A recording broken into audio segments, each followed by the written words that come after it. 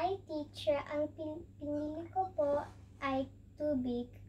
Ang tubig ay importante para sa atin. Mahigit pin- 70% ng mundo ay binubuo ng tubig. Ito ay pumupuno sa karagatan, lawa at iba pang anyong tubig.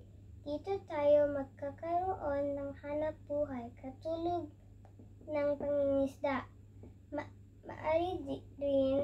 Itong maging pasyalan ng mga turista at kapwa Filipino.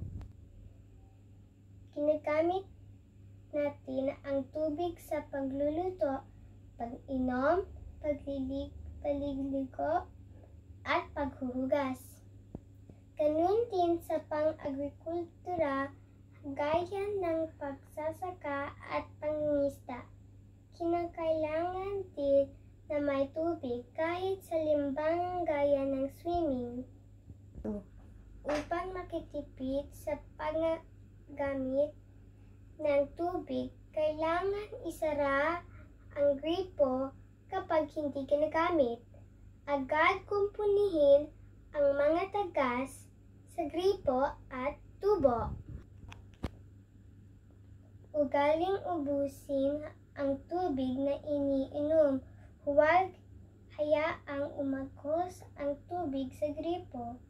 Maari ring gamitin ang tubig na, nagna- nag- na nagamit sa paglalaba, sa pagdilig ng halaman. Iilan lamang ito sa mga paraan upang hindi maaksaya ang paggamit ng tubig kung kaya ay maging responsable ang bawat isa sa atin kahit sa, sa, sa simpleng paraan. Maraming salamat po.